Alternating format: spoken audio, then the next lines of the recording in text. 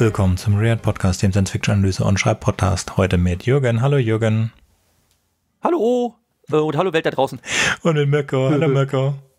Hallo zusammen. Und wir sprechen heute Abend zum elften Mal über die Kurzgeschichten von Philipp K. Dick. Wieder haben wir euch sechs Kurzgeschichten mitgebracht. Aber davor eine traurige und eine ähm, glückliche oder schöne Meldung. Beide haben etwas mit zehnjährigen Podcasting zu tun. Das eine Mal ist die, die schöne Meldung, Arkham Insiders ist zehn Jahre alt und sie haben es auch geschafft. Yippie. Ich glaube zur 200. Folge, also herzlichen Glückwunsch. So, exakt. 200. Folge. Respekt. Ja, Respekt. mega Respekt für Axel und Mirko hier. Und ähm, sehr schöne Folge, wo viele Fragen beantwortet sind. Mir ist aufgefallen, wir haben vergessen, welche zu stellen, weil ja sonst alle Fragen gestellt haben. Also in zehn Jahren kommt es auch mit Fragen dann von Rewrite. Okay, die andere ist ein bisschen traurig, auch ein Podcast, der zehn Jahre lief, und zwar alle Bücher müssen gelesen werden von Klaus Varias. Klaus Varias hat nach 221 Folgen aufgehört und die letzte Folge ist ähm, nicht die 221, sondern die 999. Die Domain wird es noch geben bis März nächsten Jahres. Also wenn ihr es hören wollt auf dem RSS-Feed, dann solltet ihr es jetzt hören. Ich habe gesehen, Klaus hat alles schon hochgeladen, auch archive.org. Also weggehen wird es nicht. Aber der offizielle RSS-Feed ist dann halt weg und es wird nicht, ich nehme nicht an, dass er den Archive-Feed irgendwo einstellt. So, damit nach diesem kleinen News-Update kommen wir zur ersten Geschichte des Abends. Null Null O? Null O. Null O. Null O. Null O.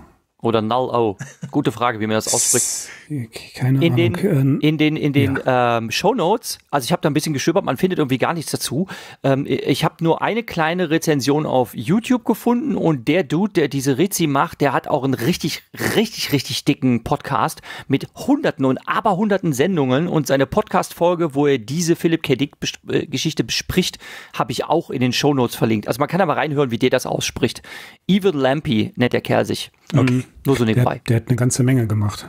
Ja, ja, stimmt, hunderte, ja, ja. aber hunderte Podcast-Folgen. Wow, ja. beeindruckend. Super, das schauen wir Show Notes okay. nach und dann Mirko, die Birne ist die, die Birne. die Birne. es ist spät. Das ist gut. Nullo. Dezember 1958 in If veröffentlicht geht so los, dass Ralph oder Ralph und Jean Jorgensen besprechen, was sie mit ihrem Sohn Lemuel tun sollen, der äh, ihrem Gespräch, ihr Gespräch auch belauscht. Ralph fällt auf, dass er nichts von dem tut, was andere Jungen so in seinem Alter machen. Er ist zutiefst besorgt über sein unbeholfenes Sozialverhalten. Trotz Jeans Protesten besteht Ralph darauf, Lemuel zu einem spezialisierten Psychologen in The Hill, einer Einrichtung, zu bringen. Die Jorgensons treffen sich dort mit Dr. James North in The Hill und North besteht darauf, ganz alleine mit Lemuel zu sprechen. Sie besprechen einen Vorfall, der an dem Morgen dieses Tages stattgefunden hat, bei dem Lemuel bei einem Baseballspiel von einigen anderen Kindern zusammengeschlagen wurde. Lemuel erklärt, dass er die willkürlichen Spielregeln dieses Baseballspiels einfach nicht akzeptieren wollte. Er kommt der Aussage nahe, dass alle menschlichen Moralvorstellungen gleichermaßen willkürlich seien.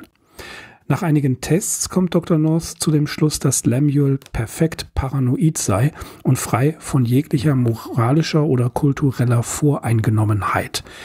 Er kommt zu dem weiteren Punkt, Paranoia sei keine Geisteskrankheit. Stattdessen ist es eine vollkommen rationale Sichtweise auf die Welt. Der Paranoide ist ein perfekter Rationalist. Lemuel erwähnt, dass er weiß, dass andere, dass andere seine Sichtweisen teilen. Dies erfuhr er beispielsweise durch die Lektüre von Mein Kampf. In den nächsten Tagen entwickelten Dr. North und Lemuel die Theorie des Null-O. Lemuel erklärt, es als die Erkenntnis, dass alle Aufteilungen zwischen materiellen Objekten willkürlich sind. Wenn 0O erreicht ist, wird diese verbale Unterscheidung aufhören. Letztlich kann diese Einheit auf alle Dinge im gesamten Universum angewendet werden. Dr. North sagt, dass er Lemuel zu Dr. Jacob Weller bringen wird, der ihm möglicherweise helfen kann. Weller selbst arbeitet an der C-Bombe, der Kobaltbombe. Und Weller erzählt Lemuel, dass die meisten Wissenschaftler jetzt Null-Os sind. Neben der C-Bombe wird auch an der E-Bombe gearbeitet. Die E-Bombe wird aus der, des, der Erde selbst ermöglichen, zu einem Haufen Asche oder Materi ja, Material zu werden und 0O zu erfüllen. Diese Innovationen werden dann zur S-Bombe führen, die das Sonnensystem in eine Gestalt 0O verwandeln wird. 1969 übernahm 0O alle Teile der Regierung. Kurz darauf feuern sie die erste C-Bombe ab und reduzieren die menschliche Bevölkerung auf 3000. Weller bereitet sich auf den Abschuss der E-Bombe vor. Weller und Lemuel diskutieren über die Zukunftspläne zur Vereinigung der Welt. Die Erde wird mit der E-Bombe vereint, gefolgt von der S-Bombe. In der Zukunft wird es die G-Bombe und schließlich die U-Bombe geben, die den Prozess abschließen wird. Ein gewisser Dr. Frisch informiert Dr. Weller darüber, dass einige Menschen diese Bemühungen überlebt haben, die Bombardierung überlebt haben, indem sie im Untergrund leben. Es waren Industrielle, die mit einer riesigen Arbeitskraft in den Untergrund zogen, um ihr System aufrechtzuerhalten. Sie arbeiten sich dann nach oben und werden die Überlebenden 0O schnellzahnmäßig überlegen, überlegen sein diese emotionalen Rebellen, wie es heißt, die gegen das große Werk, gegen die, die äh, antreten werden und angreifen werden, die die Welt nicht logisch sehen können, so wie die 0O, werden sie überwältigen und sie greifen an. Die 0O ziehen sich auf die Venus zurück, um ihre Arbeit fortzusetzen. Lemuel wurde jedoch diesem Mob, der angreift, überlassen. Ende der Geschichte. Das ist harter Tobak. Das habe ich mir als erstes gedacht, als ich sie gehört habe. Mir hast du geschrieben, dass du sie total doof fandest. Harten Tobak darf man auch doof finden. Genau. Aber nach der Zeit im Vergleich mit den anderen Geschichten von heute oder beziehungsweise Vergleich mit meiner nächsten Geschichte, um das vorwegzunehmen, ist sie ganz gut. Ähm, wir haben hier wieder diese Gestalt drin. Dann, äh, also ich wusste schon, ich mag die Geschichte nicht, als er als Lemuel sich auf meinen Kampf bezogen hat, fand ich, äh, nee, kein Bock. Kann nicht. Äh, wenn sich jemand auf meinen Kampf bezieht, bist du bei mir unten durch, dann kann ich dich nicht mehr sympathisch finden und was da, was du willst. Und wenn du denkst, in dem Buch steht irgendwas Intelligentes drin oder halbwegs Sinnhaftes. Naja, egal. Aber wenn man so ganz ja, an, an, sich ist ganz nett. Steht, dass sie wohl auf eine, als eine Reaktion auf eine andere Geschichte von. Even Vogt, die Welt der 0a. Mhm. Genau, die Welt der 0a. Dazu der konnte man leider nichts finden. Mirko, also ich konnte nichts so schnell finden. Mirko, hast du die zufällig? Also zwei Sätze dazu. Ähm, The Pawns of Null A oder Welt der Null A ist tatsächlich so, dass eine gewisse äh, Gruppe von Menschen qua Gedankenkraft andere Menschen kontrolliert. Das ist jetzt wirklich ganz runtergebrochen. Das ist eigentlich ein Klassiker der Science Fiction und A. Van Vogt gehört zu den wichtigsten Einflüssen auf Philip K. Dick. Er hat ihn auf einer Convention getroffen und war total begeistert von ihm. Äh, Van Vogt hat unter anderem, das wisst ihr, die, ähm, ähm, die, die, die Reise der Space Beagle geschrieben und die bekannte Geschichte The Destroyer. Destroyer ist die literarische Vorlage für den Film Alien. Und es gab einen Rechtsstreit, der Van Vogt so mitgenommen hat, dass er tatsächlich darüber auch krank geworden ist. Also Van Vogt ist schon ein, ein ganz wichtiger äh, Autor, auch nicht nur für die Science Fiction, sondern auch für Philip K. Dick. Das nur ganz kurz am Rande. Was ich interessant fand, war, dass du hier die Logik, also erstmal eine der eine wirklich harte Technologiekritik von Philip K. Dick, aber auch, ähm, dass er hier versucht, die Logik eines Nationalstaates zu, ähm, ja, zu analysieren, indem die Reduktion der individuellen und regionalen Identitäten auf eine homogene Kultur eben dargestellt wird. Also das, das ist hier schon äh, metaphorisch zu sehen. Und dass ja einer, einer solchen Gleichschaltung äh, interessanterweise ausgerechnet Industrielle, die ja nichts anderes machen, äh, gegenüberstehen. Das finde ich ähm, ist so eine, ja, ich fand die Geschichte nicht ganz rund. Ich verstehe, was er meint, aber da hat er wesentlich bessere Geschichten. Da stimme ich dir zu. Ähm, die beste ist es nicht heute. Nein, nein, das ist die beste. Dies ist jetzt auch gar nicht so schlecht, wie sie beim Anfang äh, einem vorkommt. Wir haben wieder sehr schöne Weltbildungselemente drin. Was ich ganz nett fand, was aber auch absoluter Quatsch ist und was du noch nicht erwähnt hast, ist, dass diese Paranoiden alle bewegliche Irren haben, mit denen sie es dann auch gegenseitig hören können. Und Lem hört dann auch seine äh, paranoiden Freunde, die entkommen sind, auf den auf dem Raumschiff. Und das kann natürlich nicht funktionieren. Aber ja, das fand ich ein ganz nettes Element davon. ganz genau. Der Anfang ist, ähm, der, der Anfang ist ziemlich stark, finde ich. Und dann, wenn klar ist, um was es eigentlich geht, ist sie nett durchexerziert und hat ein ja, nicht unbedingt unbefriedigendes Ende, aber man freut sich schon mit jedem toten ähm, Null-Ola, würde ich mal so sagen. Ja. Also ich fand es am Anfang, ich fand es am Anfang sehr sehr, sehr interessant, wie man so in die Irre geführt wird, weil man sich erst denkt, okay, die haben halt so einen verhaltensauffälligen, schwer erziehbaren Bub und dann denkt man sich, hm, ist der vielleicht autistisch? Hat er vielleicht eine Hochbegabung? Was ist denn los mit dem? Hm?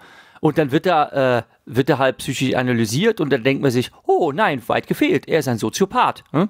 Ähm, auch interessant. Hm? Aber dann, dann kommt halt dieser seltsame Twist, dass Alle der Doc das total dass ja. der Doc das total feiert und sagt, ja, super, ne? also, äh, Soziopathen als neue Herrenmenschen. Ach du liebe Zeit. Ne? Und mhm. dann wird's halt wirklich schräg. Dann wird's halt wirklich schräg und sehr, sehr hässlich. Und auch diese, diese Stelle, also ich weiß doch, ne, die Stelle, wo ich das dann lese, ich, ich war wirklich fassungslos, ne? Ja, die erste Bombe ist gezündet und die Menschheit ist auf wenige tausend dezimiert. Ne? Ich habe das wirklich mehrmals gelesen und dachte mir, okay, okay, das passiert wirklich in dieser Geschichte. Ach du liebe Zeit. Also dachte mir, uff, ne? uff, äh, ho, ja, starker Tobak. Hast schon recht. okay. Ja, da können wir jetzt noch viel dazu sagen, aber man kann es auch lassen und zur nächsten Geschichte gehen. Das wäre meine To Serve the Master. To Serve the Master. Wir sind in einer apokalyptischen Zukunft nach einem irgendeinem äh, dritten, vierten Weltkrieg und wir begleiten einen Letter Carrier der Stufe oder der Level äh, 4 und das ist von ganz normaler Postmensch, der zwischen zwei Fabrikeinheiten oder Städten Post hin und her trägt zu Fuß. Und dabei fällt ihm ein kaputter Roboter auf und druckst so ein bisschen rum. Er weiß von seinem Vater, hat er mal Roboter gesehen in einer Fabrik, die Sachen zusammengebaut haben, aber es gibt schon lange keine Roboter mehr.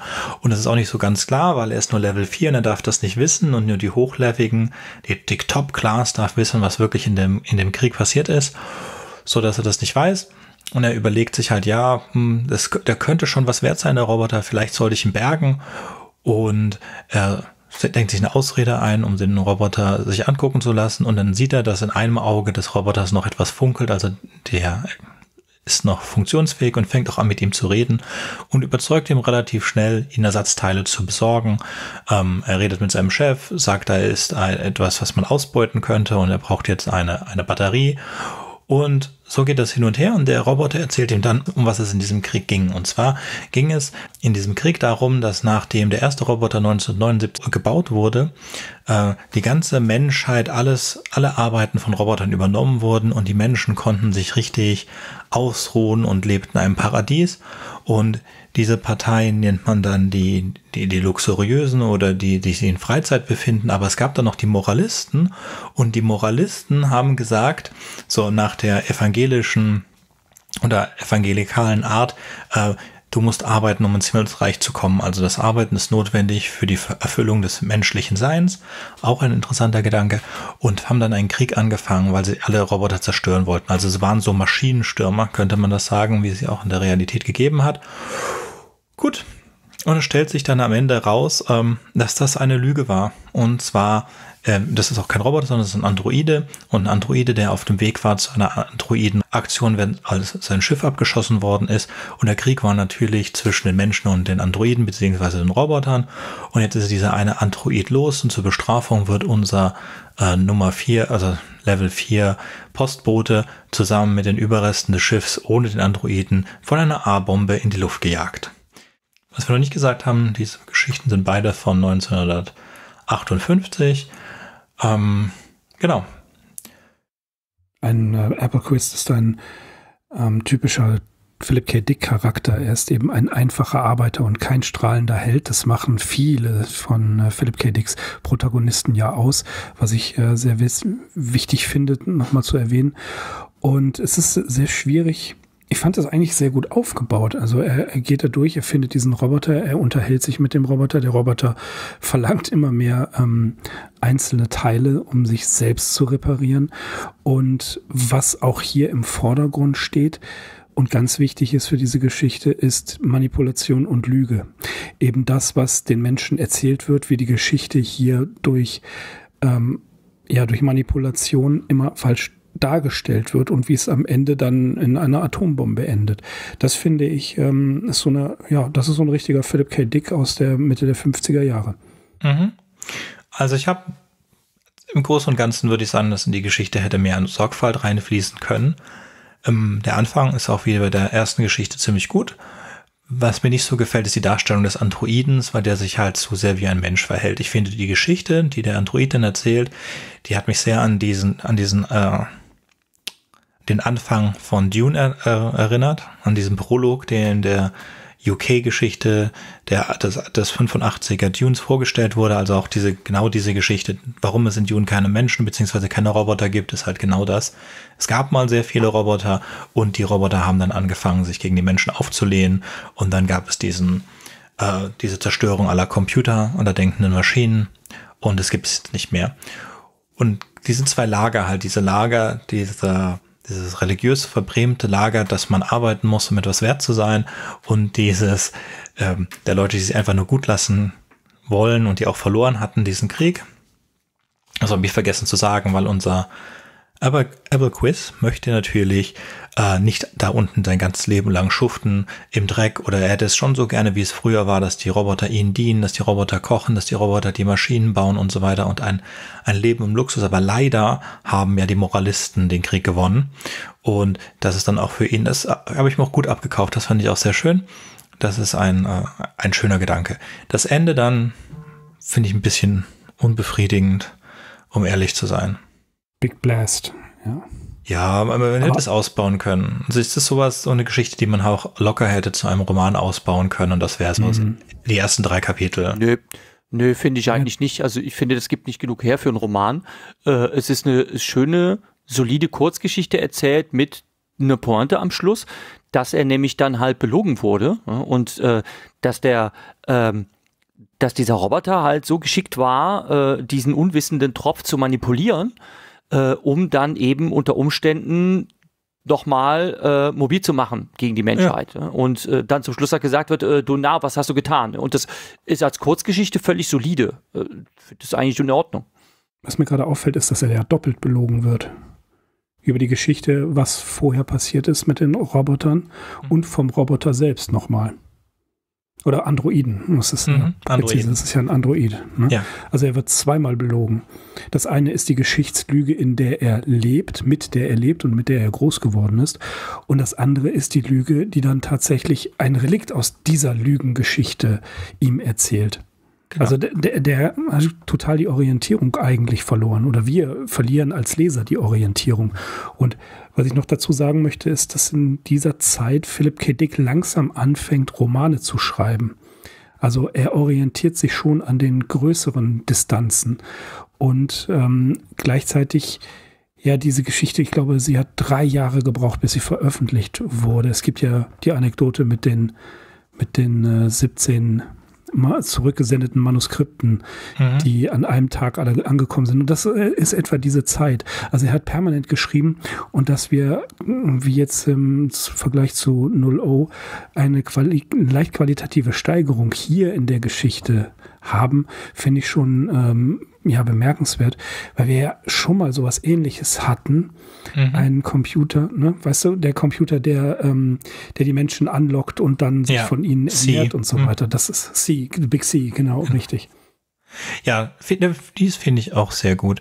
Ja, die ersten zwei Drittel von der Geschichte fangen wir gut. Ähm, nur für Jürgen mal, ja, es ist, passt gut als Kurzgeschichte mit dem Twist, aber wenn man den halt gerade jetzt ausbauen könnte, hätten wir den, den Anfang, also den, den Hook von einem Roman und dann hätte man jetzt äh, Mittelteil und Schluss, eh, wo sich unser Apple Quiz in einen Helden verwandelt. Ja, von dem einfachen Mann dann in den Helden und so weiter. Also hätte man dazu schreiben können. Mhm. Äh, ist, ist Fair Game, ist, ist, ist eine gute, nette Kurzgeschichte. Wie gesagt, ich hätte den Roboter vielleicht ein bisschen anders geschrieben und vielleicht das Ende etwas anders, aber im Großen und Ganzen finde ich sie schön. Zwei Drittel gut, sagen wir mal so. Ähm, ich finde die Welt schön. Ich finde wie gesagt, mir gefällt diese Idee mit den Moralisten und den Leisuren. Das ist klasse. Mhm. Hat auch eine kleine Parallele zu Turning Wheel. Ja, Ne? Also man merkt, dass diese, dass diese Geschichten, äh, die ja alle in etwa derselben Zeit entstanden sind, Ideen wälzen und von verschiedenen Punkten beleuchten, die uns dann aber auch immer wieder begegnen. Also er arbeitet sich da an einem ganz bestimmten Stoff ab. Ja, das ist insofern okay. Die nächste Geschichte, die wir besprechen werden, hat nämlich auch eine Ähnlichkeit mit einer älteren Geschichte. Ähm, und da hm, da bin ich, da frage ich mich immer so, hm, also äh, was ich davon halten soll. Du hast recht, Mirko, also er hat so Ideen, die er hin und her wälzt und unterschiedlich ausgestaltet und das macht er insofern in Ordnung. Robert Sheckley hat das äh, leider äh, auf dreiste Weise gemacht, dass er mehrmals dieselbe Geschichte quasi in verschieden abgewandelter Form neu geschrieben und neu veröffentlicht hat. Und das wird dann halt irgendwie ein bisschen nervig. Ich hoffe, dass mir das jetzt, ähm, wir sind jetzt ungefähr in der Mitte hm, von unserer fünfbändigen Sammlung mit 118 Kurzgeschichten. Ich hoffe ja inständig, dass mir das jetzt nicht öfter passiert, dass ich irgendwie äh, das Gefühl habe, hm, irgendwie habe ich das schon mal gelesen. Hm? Und ähm, also, dass er dann irgendwie jetzt anfängt, alte Geschichten neu aufzugießen, das fände ich schade. Das hm? wird dir passieren, das wird dir passieren, insbesondere je älter die, oder je jünger, Verzeihung, je jünger die Kurzgeschichten werden. Also je weiter wir in den Bänden vorrücken, desto mehr kommen dir die Motive bekannt vor, insbesondere wenn du Philip K. Dick Romane kennst. Ich sag nur Zeit der Perky Pet ist so ein Beispiel und da kommen einige Sachen, einige Elemente vor, die er dann auch rüber in die Romane transportiert.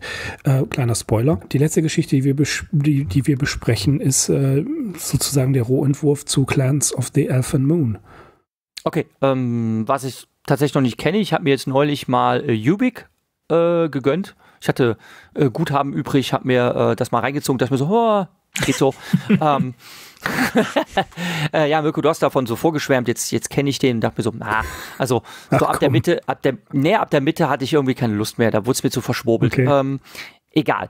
Ähm, also das ist natürlich klar, also wenn, wenn man so Entwürfe in Kurzgeschichten äh, findet, ne, wo wir uns ja jetzt quasi so von den ganz alten bis zu den jüngsten vorarbeiten und dann natürlich merkt bei ähm, danach erschienenen Romanen, dass er das dann weiter ausgebaut hat, das ist, das mag verständlich sein, aber hm, wenn halt eine Kurzgeschichte verkauft wurde und dann äh, bringt er halt irgendwie so, keine Ahnung, ein, zwei Jahre später eine sehr, sehr ähnliche Kurzgeschichte nochmal auf dem Markt, sowas finde ich dann irgendwie ein bisschen dreist. Aber naja gut, äh, wenn er davon leben konnte, sei es ihm gegönnt, ne? Ja.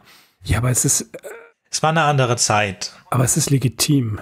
Es ist, es ist mhm. aber legitim. Also warum nicht? Ich meine, wenn wir uns äh, jetzt zum Beispiel Harlan Ellison anschauen oder auch Robert Silverberg, die haben oder produziert wie die Wahnsinnigen. Clark, ja, die haben produziert wie die Wahnsinnigen und haben auch immer wieder alte Re Ideen recycelt.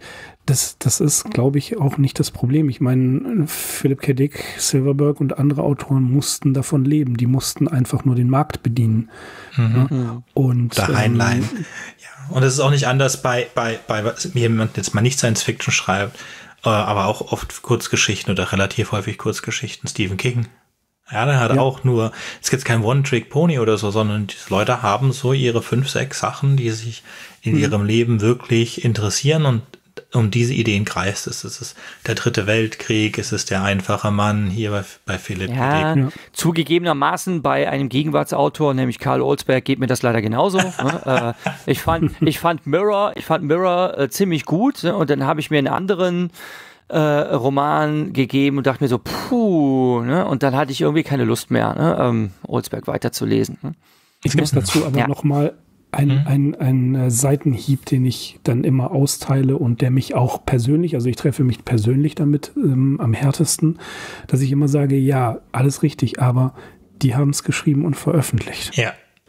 Ja. Ne? Also ich, ich treffe, ich hau mir ja da selbst mit ins Gesicht. Aber ich finde schon, dass äh, in diesem, in dieser Geschwindigkeit, wie er geschrieben hat, ne, 40 Romane, 118 Kurzgeschichten, er ist plus 52 Jahre alt geworden. Das heißt, ich hätte noch knapp ein Jahr Zeit, um das alles äh, unter einen Hut zu bringen. Also das ja, alleine schon. ja, ja. Entwürfe habe ich tausende. Also nicht das Problem. Ja. Äh, aber nein, ich meine, ähm, das ist natürlich wahr, man, wir, wir lesen die jetzt auch hintereinander weg ja, mhm. in einem so kurzen Zeitraum, wie sie eben auch nicht erschienen sind, beziehungsweise schon, aber eben in äh, widespread in verschiedenen Publikationen. Also die, das, das ist natürlich so, er, er benutzt seinen Stuff. Er benutzt auch immer wieder dieselben äh, Metaphern. Aber letzten Endes, ja, irgendwo ähm, fasziniert es uns doch manche Sachen äh, sind mhm. nicht gut, sehe ich genauso. Und manche sind einfach absolute Klassiker ja, geworden. Genau. Okay, aber wenn, wenn, man so viel Output hat, dann kann ja nicht alles klasse sein. Das, ja. das meine ich auch gar nicht. Ich möchte aber genau. nur richtig stellen, es ist nicht, also es ist nicht die, der missgünstige Neid der Erfolglosen oder sonst was. Das, das ist das, was ich in anderen Literaturforen, äh, wo ich noch in einem anderen Genre unterwegs war, immer mir anhören durfte. Hey, du bist ja nur neidig. Ne? Und dann denke ich mir, Ach so, nee, nein, das wollte äh, ich jetzt, das äh, wollte ich jetzt nicht missverstanden nein, nein, das, haben. Nein, nein, nein, du, du, äh, du empfindest es nicht so, das weiß ich, ne? aber äh, ich, ich möchte das halt auch klarstellen. Ne? Also nur weil ich jetzt noch nicht geschafft habe, irgendwas mhm. zu publizieren, beziehungsweise war halt ein bisschen Self-Publisher und äh, habe bei Kurzgeschichtenwettbewerben leider keinen Blumentopf gewonnen und jetzt bin ich beleidigt und mag nicht mehr. Ne? Das, wollt, das soll jetzt nicht heißen, ne? das soll jetzt ja. nicht heißen, dass ich, nein, jetzt, Da, dass ich jetzt total verbrämt bin und alles schlecht rede und anderen den Erfolg nicht gönne. Ne? Ähm, nee, nee, das, es ist halt nur, das, das war auch gar nicht so gemeint. Sondern es ist immer wiederkehrend, es ist halt nur leider mein immer wiederkehrendes Problem, wenn, wenn, äh, und ich habe jetzt so langsam kein bei mir der, der Verdacht auf, ne, dass wir jetzt so bei der Mitte angekommen äh, befürchten müssen, dass, ähm, dass der liebe Philipp beginnt sich immer mehr zu wiederholen und ich dann irgendwie denke so, oh, das habe ich schon mal gelesen ne? und das habe ich schon zum dritten oder vierten Mal gelesen. Mhm. So, ah, bitte nicht. Ähm, aber im Moment geht's ja noch. Ne? Ähm, schlimm finde ich, wenn es so andere Autoren gibt, ähm, die auch jetzt äh, extrem erfolgreich waren, die aber wirklich wortwörtlich immer dasselbe schreiben. Also auch immer dieselben mhm. Sätze. Ne? Mhm. mhm. Boah, das ist aber, nicht auszuhalten. Aber dann, dann, ja. dann antworte ich mal mit Helmut Karasek, du hast wahrscheinlich viel zu viel gelesen. Das ist eigentlich ja, das auch ist mein großes Problem. Kompliment. genau, ich bin einfach zu belesen. ja. Gut, möchtest du dann die nächste Geschichte Genau, vortragen? machen wir doch einfach mal weiter. Mhm. Machen wir doch einfach mal weiter. Ne? Äh, die Geschichte, die ich vorstelle, trägt den Titel Ausstellungsstück oder im Original Exhibit Piece. Ähm, geschrieben 1953 und veröffentlicht 54 im If Magazin. George Miller ist ein Historiker in der Zukunft. Er beschäftigt sich mit der Ära der 50er Jahre des irdischen 20. Jahrhunderts und er geht dabei äußerst penibel vor. Man könnte sagen, er lebt seinen historischen Auftrag, indem er selbst ein ähm, wandelndes ähm, ja, lebendes Museum ist dämlich. Die Geschichte beginnt damit, dass er von einem Roboter-Taxifahrer gefragt wird, was für eine besondere, seltsame Kleidung er da trägt. Und er sagt, das, das ist ein Anzug. Ne? Und was sind diese komischen runden Dinge? Ja, das sind Knöpfe. Einerseits haben sie eine praktische Funktion, andererseits dienen sie nur als Zierde. An seinem Arbeitsplatz angekommen, also er arbeitet auch in einem Museum, das in verschiedene Sektionen unterteilt ist, ähm, fragt ihn äh, sein Chef äh, auch ein wenig angesäuert, weil er äh, nicht gutheißen kann, dass, er, äh, dass äh, Miller in diesem sonderbaren wunderbaren Aufzug herumläuft. Ähm, äh, was haben Sie denn da unter den Armen? Und dann sagt er, ja, ähm, das ist eine Aktentasche. Das sieht aus wie ein, äh, äh, wie ein äh, plattgequetschtes äh, Reptil aus der Jurazeit. Äh, ja, das ist eine Handtasche, eine Aktentasche aus dem ähm, aus echtem Krokodilsleder. Und das ist dann sehr witzig. Da sagt er, das ist das damalige Statussymbol der Manager gewesen. Hm? Da muss man schon ein bisschen schmunzeln, wenn er das so beschreibt. Und er ähm, redet dann über historische Details, dass er zum Beispiel glaubt herausgefunden zu haben, ähm, dass die äh, Menschen der Mitte des 20. Jahrhunderts ähm, doch tatsächlich ihre Fliesen in ihren Häusern selber gelegt, aber nicht ihre Kleider selber gewebt haben sollen. Und er ist äh, äh, sehr beflissen, das äh, auch entsprechend anzupassen in seinem, ja, wie nennt man das, glaube ich, Panoptikum, was er da aufgebaut hat. Also er arbeitet sehr detailverliebt an einem äh, begehbaren Modell in diesem Museum, das wirklich absolut bis aufs kleinste Detail täuschend echt sein soll.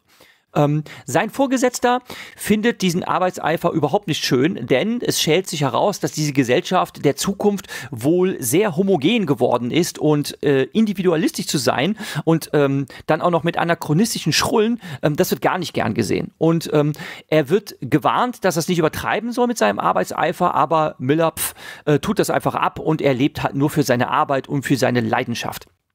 Und er ist wieder dabei, ähm, historische Dokumente zu studieren. Es wird nicht genau erklärt, was er da eigentlich macht. Er hat irgendwelche Bänder, also Filmbänder dabei, die er studiert. Und dann hört er aus seinem Modell, aus, seine, aus seinem Ausstellungsstück irgendwelche rätselhaften Geräusche.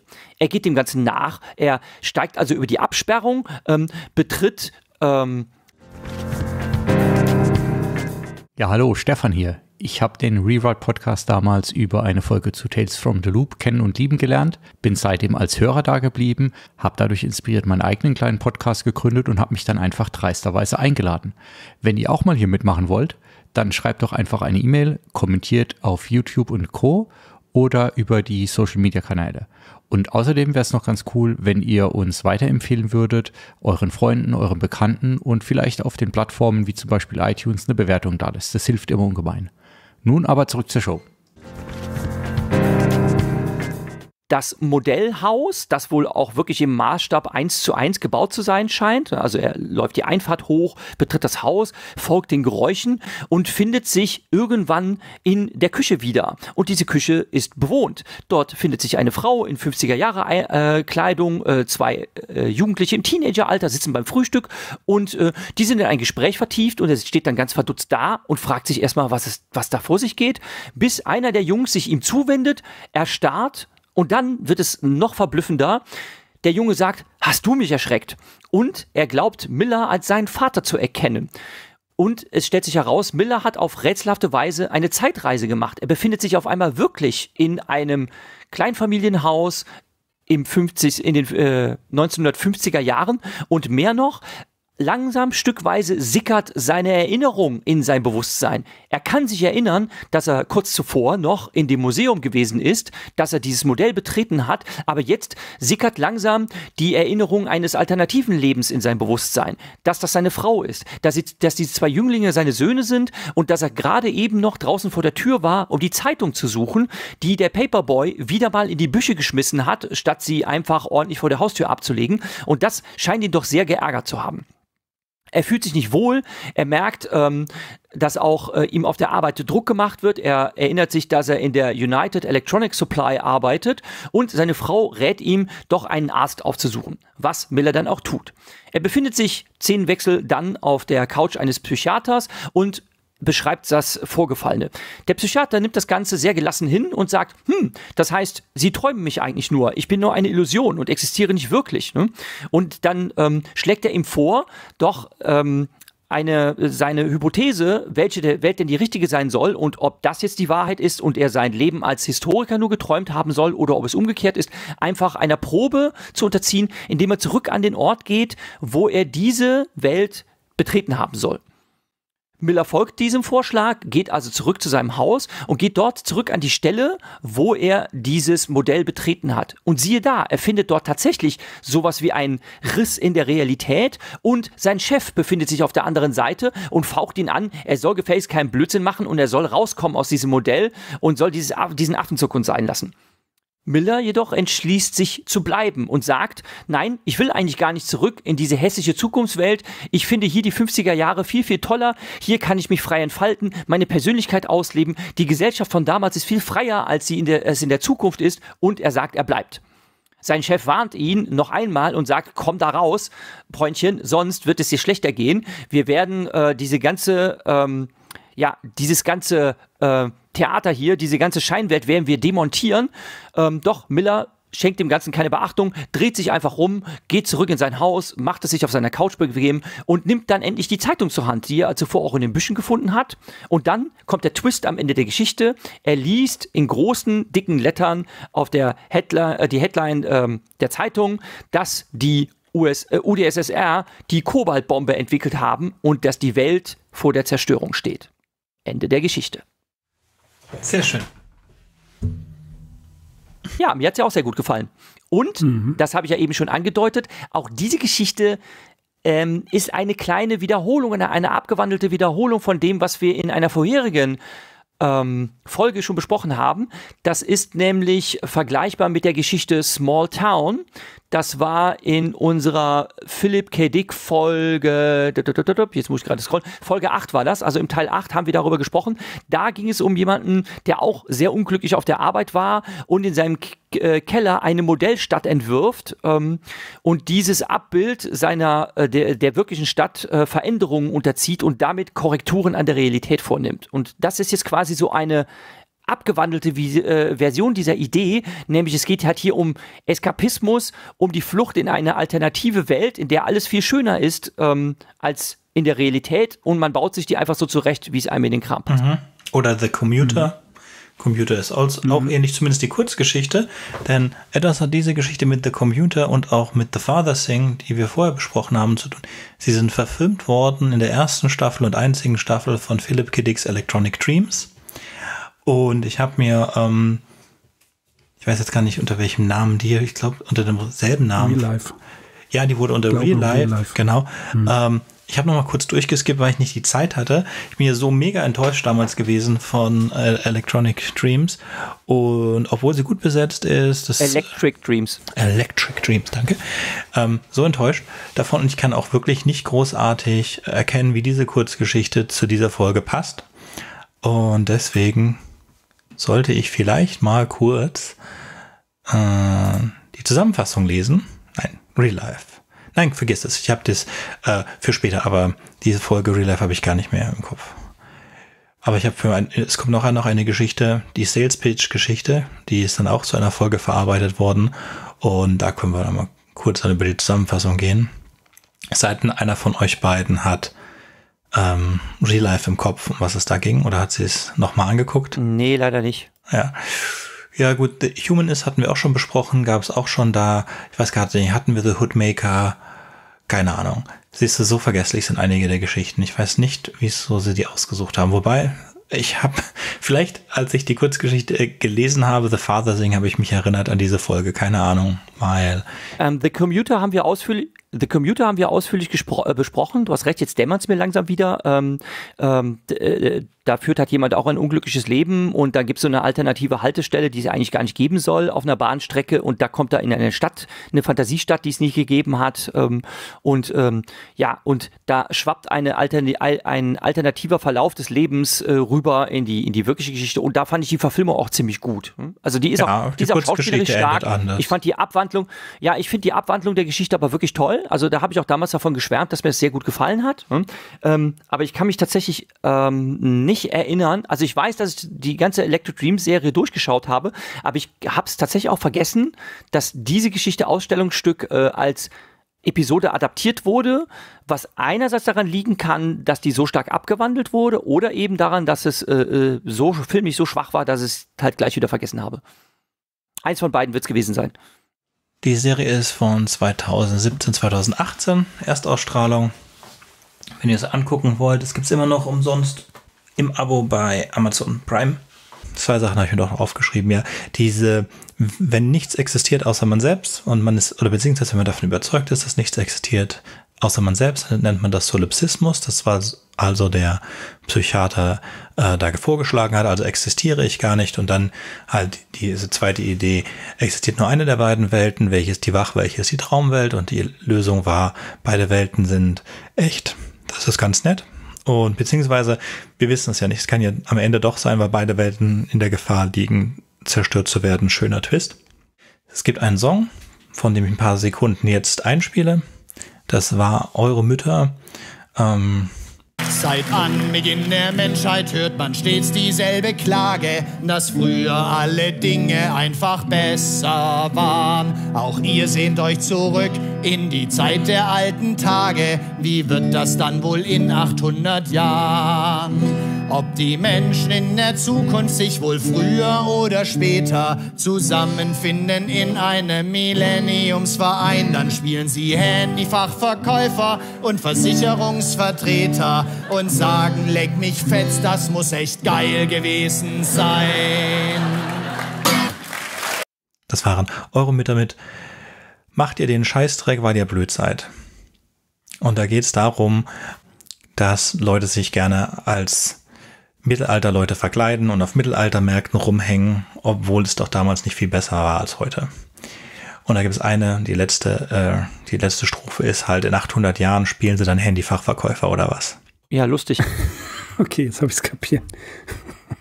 Also ich dachte eigentlich jetzt eher an Descartes, ne? also das, das Ausschließen der Welt drumherum und äh, die Reduktion darauf, erstmal bin ich in der Welt und dann die, äh, das weitere Vorgehen von Descartes, wie man eben vom radikalen Zweifel in eine ontologische Sicherheit geführt wird, wohingegen ähm, Philipp K. Dick die Tatsache, dass dass das Tor oder dieses Portal geschlossen wird mittels Bombe, dann einen, einen weiteren äh, Ausschlag findet, in dem die Realität, in der sich in der sich geflohen hat, ähm, durch die Zeitung dann wieder eingeholt wird von der anderen Realität. Dieses Ineinander verschränken, das glaube ich, ist der große Kunstgriff dieser Geschichte. Aber kommen wir zur nächsten, oder? Crawlers? Crawlers, ja. Crawlers in Imagination veröffentlicht 1954. Ein, ja, ein, jemand, der etwas baut oder etwas, das etwas baut, äh, genießt das Bauobjekt. Es wird ein, etwa eine Seite lang da beschrieben, wie ein Objekt, eine, eine Art Wohnstadt gebaut wird und ähm, an der Oberfläche das Ganze nur als Lehmhaufen sichtbar ist. Damit beginnt die Geschichte. Ein Bauer fährt Ernest äh, Getzi, äh, nein, wer ist der? Ernest Gratry durch eine ländliche Gemeinde und sie halten vor, ja, vor einem Crawler an, der von den Autos auf der Straße getötet wird. Der Crawler sieht aus wie eine lange Schnecke mit einem geformten, fast menschenähnlichen Gesicht, einem geformten Kopf, menschenähnlichen Gesicht, das zwar noch rudimentär oder schwer zu erkennen ist, aber mit einem missgebildeten wurmähnlichen Körper. Der Bauer erklärt, dass sie dort oft rüberkriechen und nicht selten von Teenagern äh, totgefahren werden. Er erwähnt, dass einer an der Tankstelle in Kerosin konserviert wurde. Diese Crawler sind die einzigen Kinder, die jetzt geboren werden. Sie werden fast, es werden fast keine normalen Kinder mehr geboren. Die Menschen beginnen wegzuziehen. Gratry ruft seinen Vorgesetzten an, um über die Situation zu berichten. Und Gratry empfiehlt die Menschen aus der Strahlungszone, wie wir erfahren, rund um ein ähm, Nuklearlabor zu entfernen, das die ähm, Mutation verursacht zu haben scheint. Die Crawler sollen eingesammelt und auf eine Insel transportiert werden, die früher für Atomtests genutzt wurde. Nach dem Anruf bemerkt Gratry, dass die Stadt ohne die Geräusche spielender Kinder langsam vor sich hin stirbt.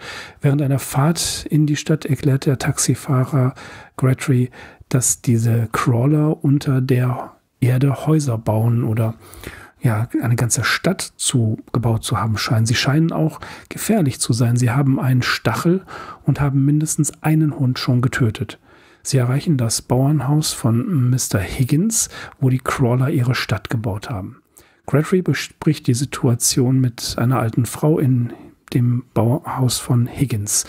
Er erklärt, dass die Regierung die Crawler entfernen will, aber da sie rechtlich gesehen Kinder der Stadtbewohner sind, gibt es rechtliche Probleme. Die alte Frau zeigt Gretry ein junges Paar, das einen Karton mit einem ein Monate alten Crawler in der Hand hält.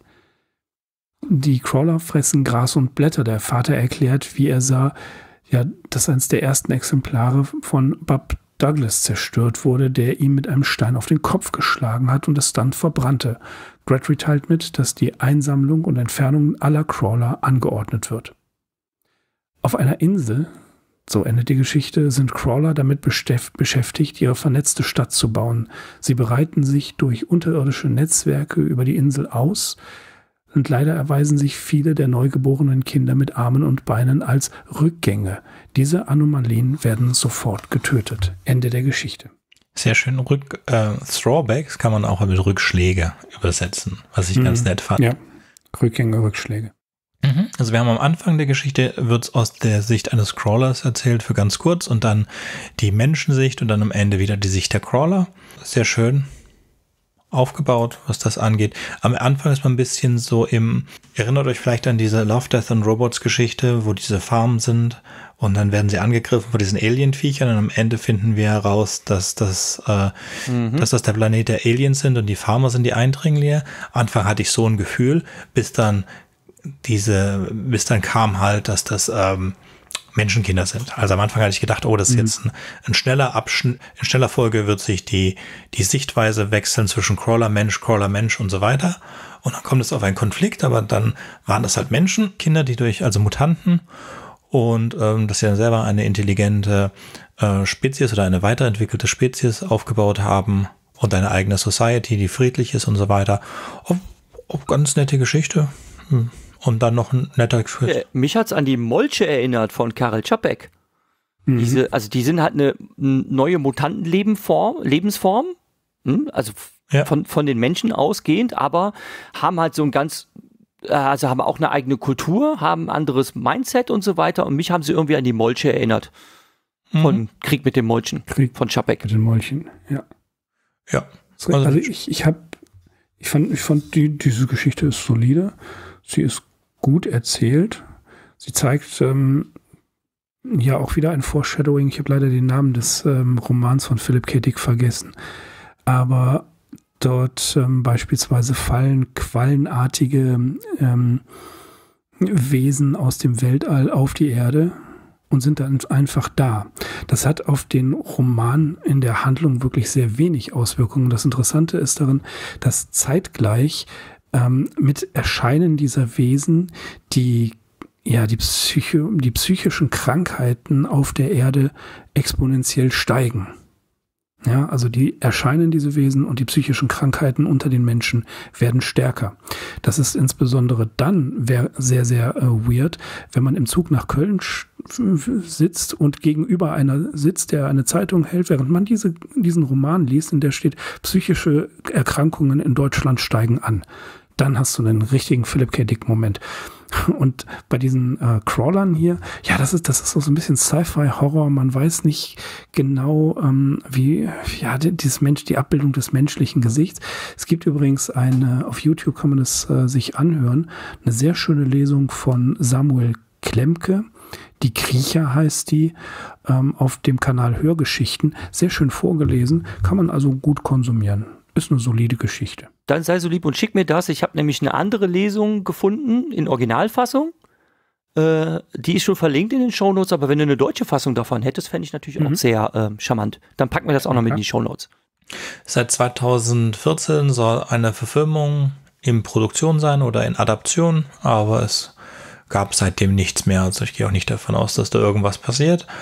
Aber hey, kann ja immer, muss ja nicht. Damit kommen wir zu Sales Pitch. In Sales Pitch befindet sich Ed Morris auf dem Weg zurück von seinem täglichen Commute zurück von Ganymed zur Erde und er hat jetzt schon keinen Bock mehr, weil er weiß, sobald er der Erde nahe kommt, fangen die ganzen Werbeeinschaltungen an. Es beginnt mit den Audioeinschaltungen und wer denen gerade entkommen sind, dann kommen diese Videoeinschaltungen und wenn man denen kommen ist dann auf der Erde, dann hat man diese Sales-Roboter, die einem die ganze Zeit hinterherlaufen und versuchen, irgendetwas zu verkaufen. Aber ja, was soll man machen? Er ist zu Hause bei seiner Frau. Seine Frau erzählt ihm, er hat vergessen, dass er 37. Geburtstag hat. Es gibt ein ganz tolles Essen. Und er schwärmt ihr vor, dass er gehört hat auf Ganymed von seinen Kollegen, wo er in einem Metall, irgendwas mit Metall Exploration Betrieb arbeitet, dass sie herausgefunden haben, dass einer der Planeten Alpha Centauri oder so bewohnbar ist und das wäre doch äh, ein Ort, wo man hin könnte. Natürlich würde man dann so leben müssen wie im letzten Jahrtausend und man hätte nicht diese ganzen, diesen ganzen Luxusgeräte, die man hätte. Man hätte aber auch endlich diese Werbung nicht. Und sie erzählt ihm dann von von, von einem durchsichtigen Kleid, dass sie doch, äh, sie sollten doch lieber ausgehen und sie zieht dann dieses Kleid an. Je näher man an das Kleid rankommt, je durchsichtiger wird es und je weiter man weg ist, je weniger durchsichtig ist es. Und er hat gesagt, ja, ich kenne das Kleid, ich habe die Werbung dazu gesehen. Gut, und während sie so, während fast ein Streit zwischen den beiden anfängt, nach Proxima Centauri wollte er, nicht nach Alpha Centauri, sorry, klingelt ein Roboter an der Tür und dieser Roboter stellt sich vor, er müsste ihnen jetzt einen Sales Pitch geben für die Fuzzrats. Und dann fängt er an, verschiedene Teile de des Hauses zu zerstören und erklärt, dass ein Fast Ride hätte da überall geholfen. Und ein Fast Ride kann alles. Und irgendwann geht es dann unserem Morris auf, dass der Roboter, der eigentlich ein Android ist, ein Fastred ist. Und dann repariert der Fastred auch alles und der Fastred sagt, er geht nicht weg, weil er weiß, er ist super nützlich und für das Geld super geschenkt. Und sein Hersteller hat gesagt, er soll einfach bleiben, bis Morris ihn kaufen wird. Und so wird es auch allen anderen gehen und Morris will ihn nicht kaufen. Und der, der Fastred bleibt und morgens irgendwann in der Nacht ist das, ist das zu viel. Er steigt in seine Rakete und fliegt weg. Und als er am Mars vorbeikommt, ist der Fast Red da und steigt auch in seine Rakete ein. Und er dann äh, entscheidet sich spontan oder mehr oder weniger spontan nach Proxima Centauri aufzubrechen, was natürlich verboten ist. Aber der Fast Red versucht, äh, das Raumschiff so weit zusammenzuhalten, wie das geht. Und am Ende explodiert es absichtlich und die Explosion treibt dann das Wrack Richtung Proxima Centauri und unser Morris denkt, er ist endlich, endlich fertig, aber aus den Trümmern des Raumschiffes bewegt sich der Fast Ray draußen, beginnt mit seinem Wort für Wort gleichen äh, Sales Pitch, wie er gegeben hat, als er damals an der Tür gestanden hat. Was ist ihr Job? Ich kommt auch ihre Frau. Sie sollte sich das auf jeden Fall anhören. Es ist interessant für, für sie beide. Und selbst Philipp K. Dick hat später gesagt, dass er, ähm, dass er das hätte umschreiben sollen. Dass ihm die Fans auch gesagt haben, und er glaubt es auch selber, dass das Ende super schlecht ist. Und er hätte wohl lieber etwas in der Art schreiben sollen am Ende, dass der Roboter sich mit dem Menschen vereinigt und da hätte der Roboter etwas sagen sollen wie, Sir, I'm here to help you. The hell with the sales pitch. Let's be to uh, together forever. Irgendwas in der Art. Was ich jetzt persönlich nicht besser finde, als was wir haben. Ähm, finde es eigentlich einen ganz okayen Twist, dann nochmal zurückzugreifen auf den Anfang des Sales Pitch und damit auch einen Verweis zu haben auf den Namen der Geschichte.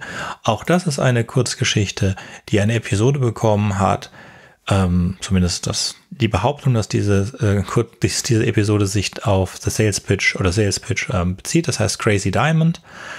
In der Geschichte kommen keine Crazy Diamonds vor und auch kein Sales Pitch.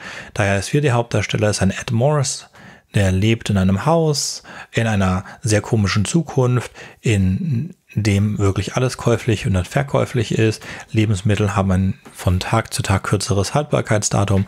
Er arbeitet in einer Fabrik, in denen Humanoide äh, Jacks und Jills hergestellt werden und die haben ein Quantenconsciousness und plötzlich kommt dann eine abgelaufene oder am Sterben seine Jill bei ihm vorbei und er soll ihr doch bitte ein neues QC besorgen, damit sie leben können. Die restlichen QCs können sie verkaufen und sich dann auf den Weg machen, abzuhauen und ähm, vielleicht sollte man das sagen.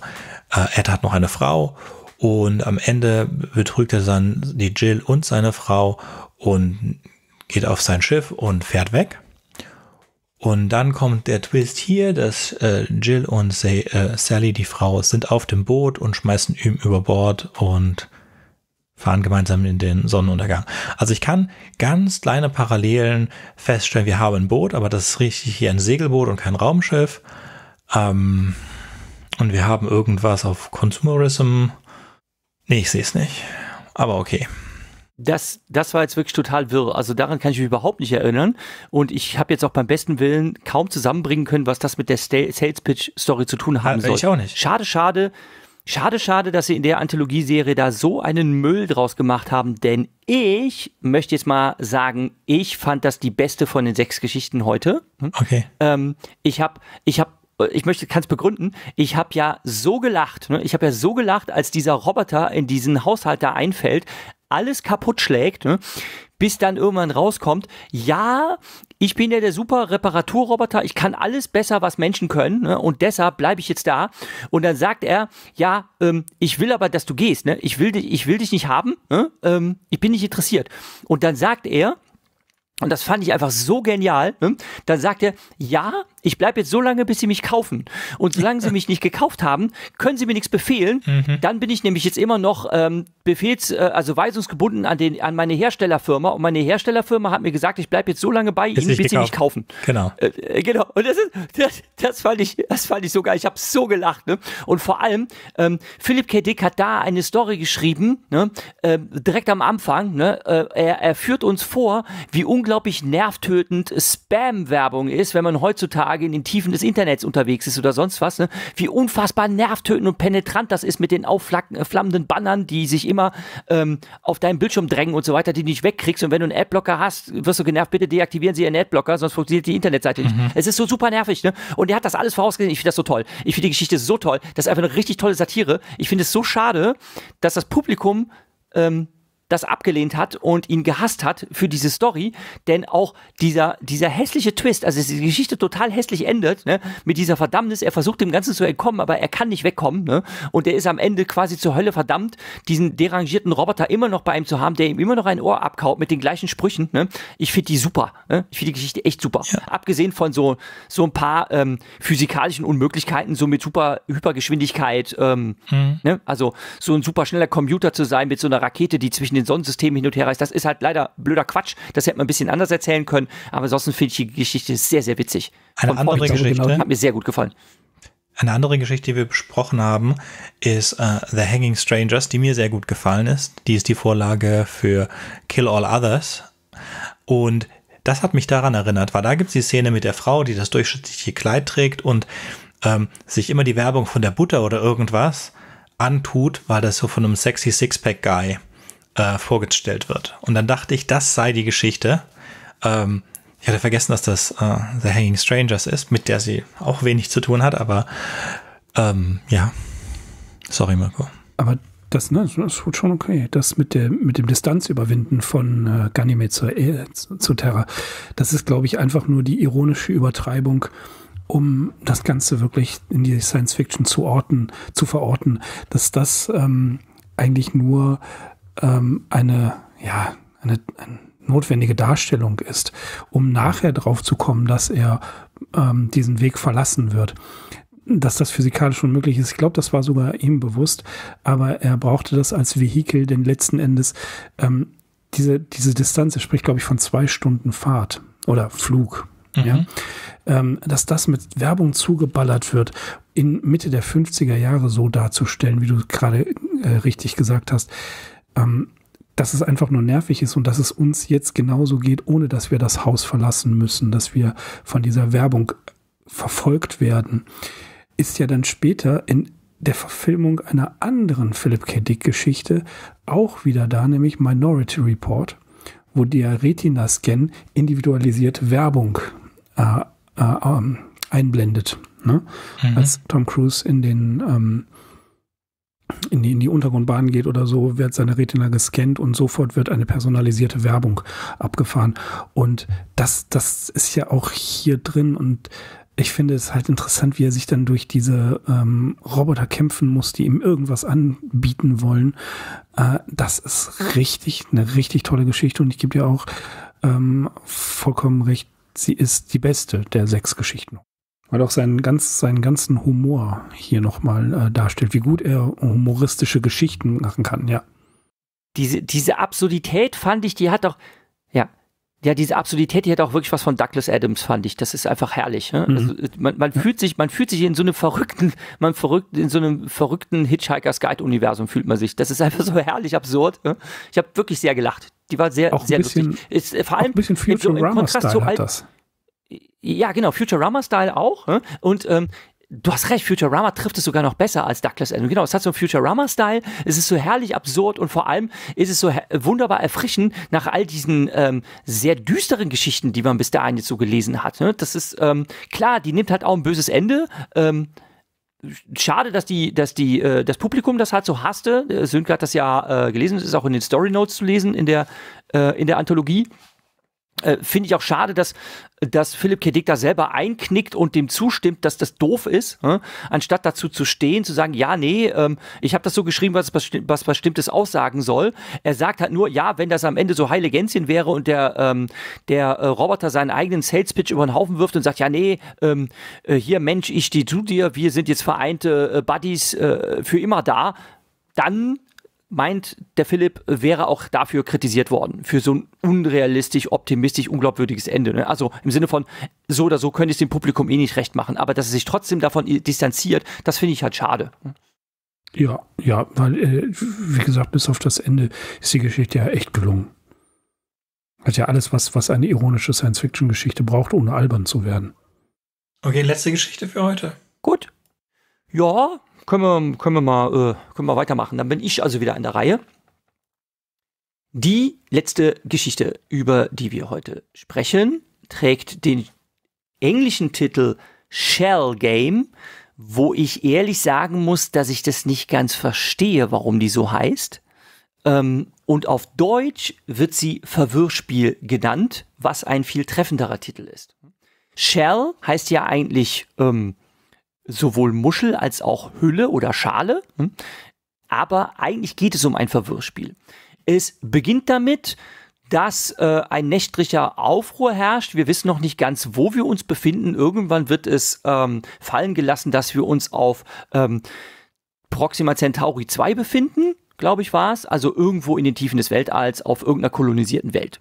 Und es gibt ein nächtlicher Aufruhr, einen nächtlichen Aufruhr in dieser, man nehme an, es ist eine Kolonie, weil man angegriffen wird.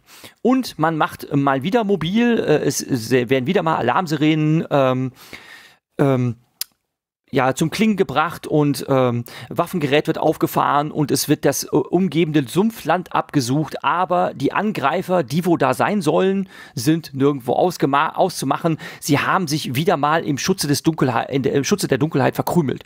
Und wir erfahren, ähm, dass das wohl ganz oft so passiert. Also man befindet sich da in einem Zustand der ständigen Bedrohung, ähm, weil, das äh, lernt man dann auch, die bösen, bösen Taraner, die als Affenmenschen bezeichnet werden, äh, diese überlegenden Mutanten, Nachfahren der Menschheit, wohl immer versuchen anzugreifen und ihn äh, ja, nach dem Leben zu trachten scheinen.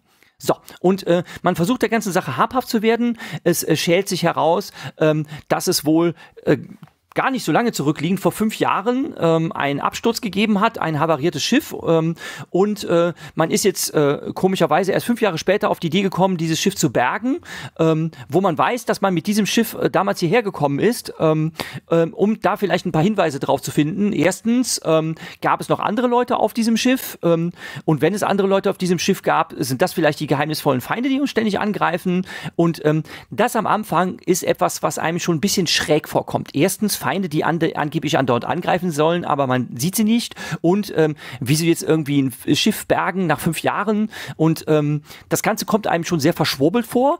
Und ähm, tatsächlich, nachdem man das Schiff dann geborgen hat und untersucht hat, äh, bestätigt sich das, was man schon die ganze Zeit im Verdacht hatte, nämlich, dass diese Kolonisten doch wohl nicht ganz klar im Kopf zu sein scheinen. Die sind wohl ein bisschen wirr und äh, das ähm, erklärt sich dann dadurch, dass sie nämlich feststellen, dass sie wohl Besatzung dieses Schiffs damals waren, aber gar nicht unter der Kontrolle dieses Schiffs waren. Es war nämlich ein automatisierter Flug, es gab keine Steuerungselemente und sie waren Insassen in diesem Schiff und aus dem, ja, nennen wir es mal aus der Blackbox, aus dem Bordschreiber, ähm, können sie dann herausfinden, dass sie eigentlich ähm, ja äh, auf einem Flug von A nach B, also von dem äh, Sonnensystem der Menschen in die Tiefen des Alls waren, zu einer Art Krankenhausstation, denn es war ein Krankenschiff. Und zwar ein ganz besonderes Krankenschiff, ein Schiff äh, bevölkert mit Paranoikern. Und ähm, dann finden Sie auch heraus, wie der Paranoiker so definiert wird. Und da möchte ich mal kurz aus der Geschichte vorlesen, weil das sehr schön geschrieben ist. Der Paranoiker unterscheidet sich von anderen Psychotikern dadurch, dass er aktiv auf die Außenwelt reagiert.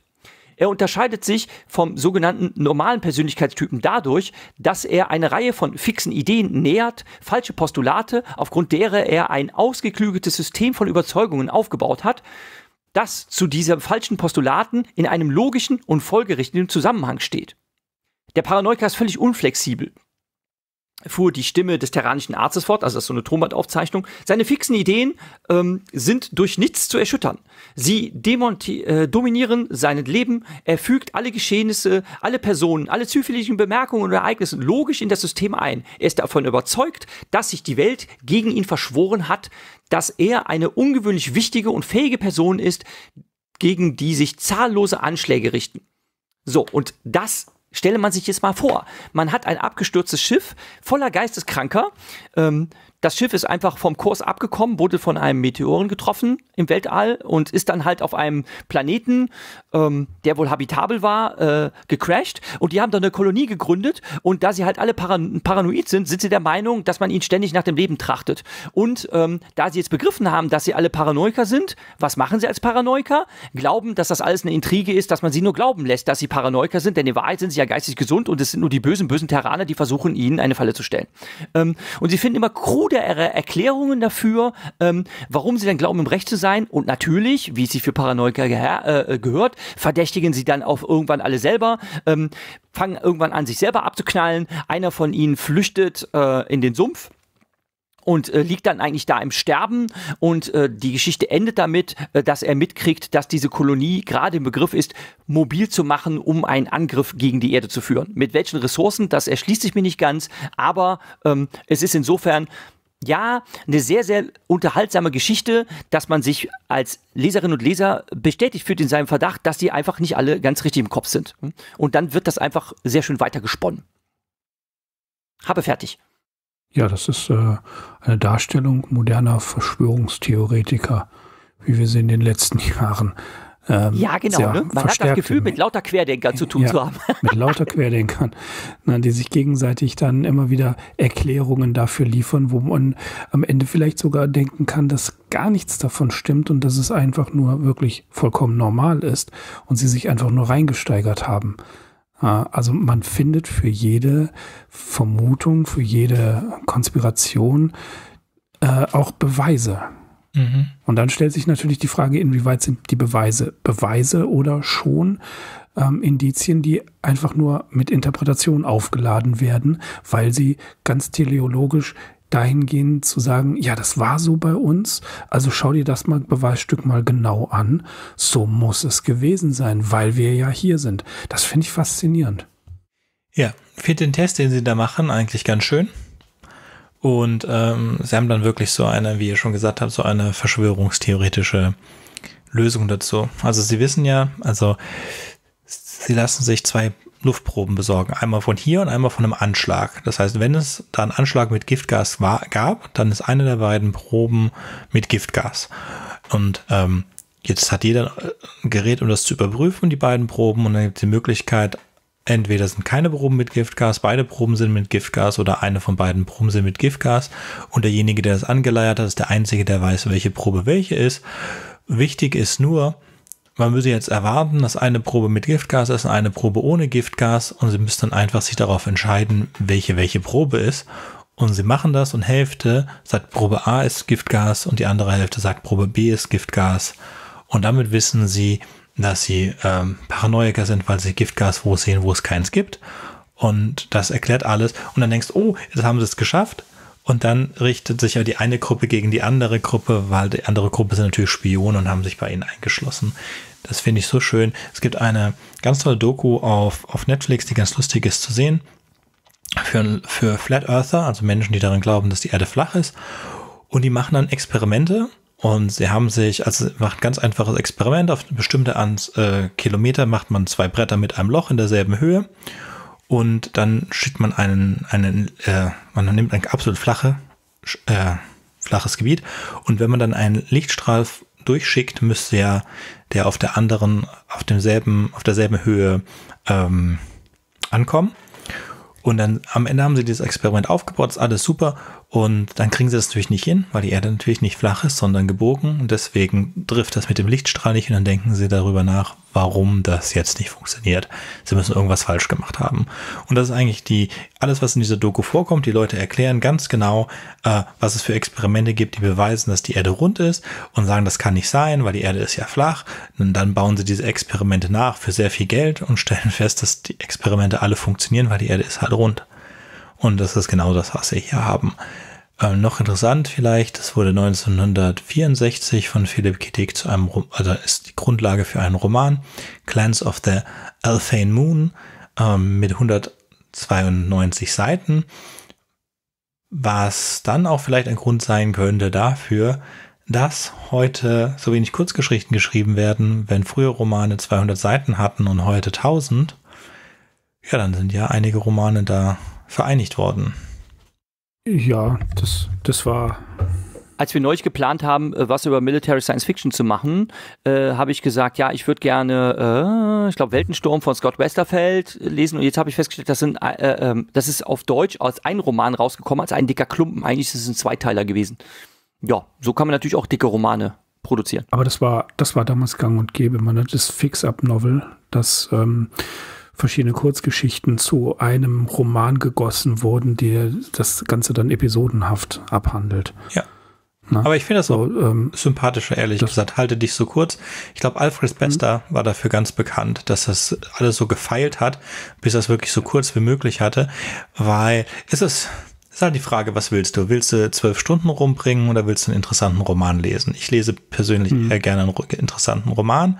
Also hau mich voll mit so vielen guten Ideen auf so wenig Platz wie möglich. Und ich kann mir das von A nach B sparen. Aber wenn man sich heute viele der Unterhaltung anguckt, dann muss man wirklich sagen, es ist viel nur, wir bewegen uns von A nach B. Wir hätten natürlich gleich die, die Abkürzung nehmen können, aber dann hätten wir keine sechs Folgen ausmachen müssen. Genau, das, das ist einfach aufgebläht und ähm, manchmal ist die Kunst des Erzählens eben nicht mehr notwendig. Und das Ganze wird dann mit sogenannter Charakterbildung entschuldigt. Aber ich will ja nicht alles über den Charakter wissen, was nicht mit der Geschichte zu tun hat oder was mir nicht in der Geschichte weiterhilft. Und das ist einfach so, das Papier muss voll sein. Die Leute müssen einen Ziegelstein für ihr Geld haben, weil sie nicht die Wertigkeit in der Erzählung sehen, sondern die Wertigkeit in dem Material, auf dem sie ausgedruckt wurde. Und das ist, das ist ein offenes Geheimnis in der Buchbranche. Genauso wird's gemacht. Das war damals schon so, als ich noch Buchhändler war und das hat sich nicht gebessert, das wurde immer schlimmer. Ja. Aber also ich habe jetzt auch aufgehört. Ich habe jetzt äh, die letzte Star Wars Serie angefangen und ich habe, das ist mein absoluter Rekord. Ich habe den Scroll gesehen, habe den Scroll gelesen, habe gesagt, ich habe keinen Bock. Und dann habe ich nochmal 30 Sekunden länger gewartet und dann habe ich ausgeschaltet. Und dann bin ich jetzt fertig mit Star Wars und Marvel. Yeah! Viel Zeit gespart für Science-Fiction-Bücher. Ich finde übrigens interessant, die Paranoia, die hier dargestellt wird, das ist ja etwas, was Philip K. Dick in seinem späteren Leben noch weiter begleiten wird. Er wird dahingehend ja immer paranoider. Ähm, die Frage nach der Realität, die ontologische Unsicherheit, die wir immer wieder in seinen Geschichten schon bis jetzt ähm, mitbekommen haben, das wird uns ja noch weiter begleiten. Das wird ja immer noch verstärkt. Aber ganz interessant ist, dass die Geschichte, ich glaube, 1954 in Galaxy veröffentlicht worden ist. Mhm. Und tatsächlich ist er erst 1955, also ein Jahr später, von den FBI-Agenten besucht worden die dann gefragt haben, ähm, wie es aussieht, wie viele Kontakte er zu kommunistischen Studentengruppen hat. Und diese Paranoia war schon angelegt, aber sie fängt jetzt an, sich richtig auszubreiten. Und das finde ich halt interessant, dass die erste Geschichte und die letzte Geschichte, mit der wir uns heute befassen, Paranoia zum, äh, zum Gegenstand hat. Als ein Movens, ne? Ja.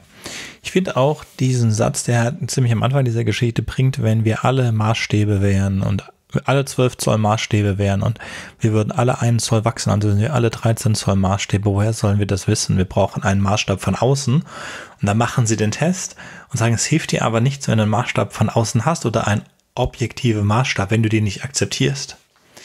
Das hm. ist ähm, very tricky. Eigentlich dafür sehr nett. Ist dem was hinzuzufügen, ihr Lieben? I rest my case. Ist schon spät und oh. diese Geschichte muss in drei Tagen geschnitten sein und veröffentlicht. Ja. Ähm, und ich habe keine ja, Zeit. Die, die Shownotes sind größtenteils, die Shownotes sind größtenteils schon fertig. Ich habe wieder fleißig mitnotiert. Ich werde da noch ein bisschen was einpflegen. Ich muss noch ein schönes äh, Beitragsbild zusammenlöten. Mal gucken, was ich da mache.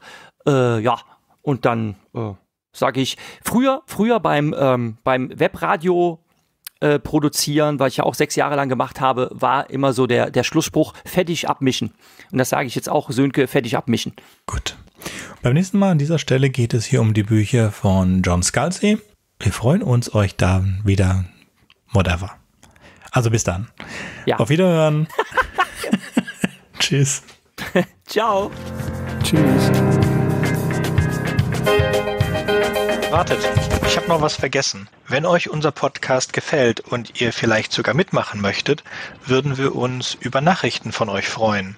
Ihr erreicht uns unter anderem über podcast at rewrite-podcast.de, Twitter oder Reddit. Über Kritik und Kommentare freuen wir uns natürlich auch. Ihr könnt uns unterstützen, indem ihr uns weiterempfehlt und bewertet, zum Beispiel auf iTunes, Spotify oder YouTube oder auf jeder anderen Podcast-Plattform, die uns führen. Zum Mitmachen braucht ihr nichts weiter zu haben als ein Headset und das kostenlose Programm Studio Link Standalone. Ihr könnt eigene Themen vorschlagen oder ihr sucht euch etwas aus unserem Sendeplan aus. Den Sendeplan und die weiterführenden Links findet ihr unter rewrite-podcast.de slash mitmachen. Und ihr könnt auch bei unserem Geschwister-Podcast Podyssey reinhören. Podyssey veröffentlicht alle zwei Wochen eine Kurzgeschichte aus den Genren Fantasy und Science Fiction. Wenn ihr ein paar von unseren tollen Podcast-Aufklebern haben möchtet, dann schickt uns einfach eine Nachricht mit eurer Adresse und wir schicken euch Aufkleber. Tschüss! Thank you.